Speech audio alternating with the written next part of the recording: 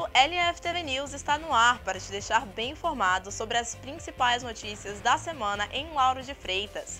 Sancionada durante a primeira gestão da prefeita Moema Gramacho à frente do Executivo Municipal, a lei que garante o processo de eleição direta para diretores e vices das escolas de Lauro de Freitas será reencaminhada ao Legislativo para revalidação. A decisão foi comunicada pela gestora durante reunião com representantes da Associação de Professores de Lauro de Freitas. A lei garantia a escolha democrática da gestão escolar, com votos de pais, alunos e corpo docente das unidades de ensino. Em meio às especulações sobre o início das obras da estação Lauro de Freitas, o presidente da Companhia de Transportes do Estado da Bahia ressalta que a construção só vai ser iniciada quando a estação aeroporto estiver em funcionamento. Segundo o presidente, o trecho para Lauro de Freitas está contratado, programado e, como é de conhecimento geral, está previsto mediante uma demanda especificada a partir do funcionamento da estação aeroporto.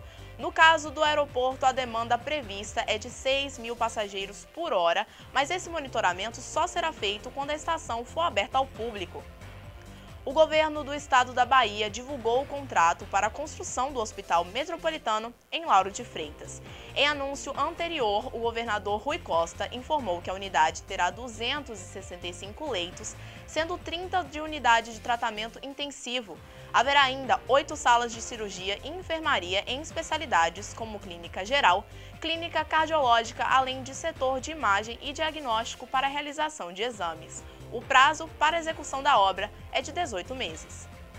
100 trabalhadores atendidos pelo programa Qualifica Bahia em Salvador e Lauro de Freitas participaram na tarde de terça de uma aula de integração no auditório da Secretaria do Trabalho, Emprego, Renda e Esporte na capital baiana. O evento reuniu as turmas dos cursos de corte, costura, preparação de acarajé e abará cabeleireiro e operador de telemarketing que estão sendo executados pela comunidade Cidadania e Vida nos dois municípios. Você pode colaborar com a LFTV enviando mensagens, fotos e vídeos para o nosso WhatsApp. O número é 992695292. Outras informações você acompanha no nosso portal lftv.com.br. Uma ótima semana para você e até semana que vem.